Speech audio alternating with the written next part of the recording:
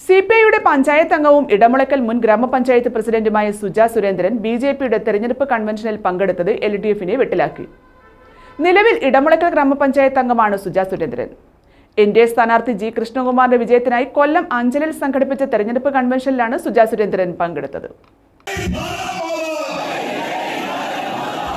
Kollam parliament N D A സ്ഥാനാർത്ഥി G കൃഷ്ണകുമാറിന്റെ വിജയത്തിനായി കൊല്ലം അഞ്ചലിൽ സംഘടിപ്പിച്ച തെരഞ്ഞെടുപ്പ് കൺവെൻഷനിലാണ് സി പി ഐ മുൻ ഇടമുളക്കൽ ഗ്രാമപഞ്ചായത്ത് പ്രസിഡന്റ് സുജാ സുരേന്ദ്രൻ പങ്കെടുത്തത്.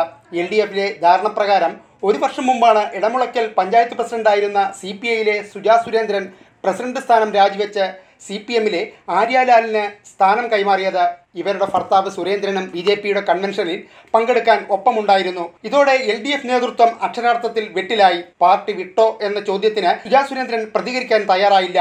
ഇടമുളക്കൽ പഞ്ചായത്തിലെ ഇടയം വാർഡിലെ സി പ്രതിനിധിയാണ് Suja Surendran. News bureau Anchal.